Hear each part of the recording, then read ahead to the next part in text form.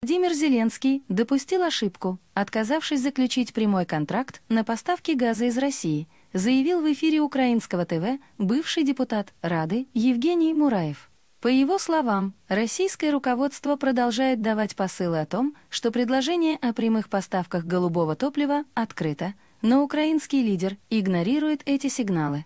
Сразу ставилась вилкой два договора, продление транзита и прямой контракт. Один подписали, а от второго отказались. Это в финансовом выражении бедствие не одного миллиарда долларов, высказался Мураев. Бывший парламентарий считает случившееся проблемой власти в Киеве, которой придется искать, где занять деньги. Какое бы решение ни было, в итоге за все заплатит народ Украины. Это преступление. Безопасность жизнедеятельности – это ответственность правительства. Мы его нанимаем, чтобы оно обеспечивало условия существования.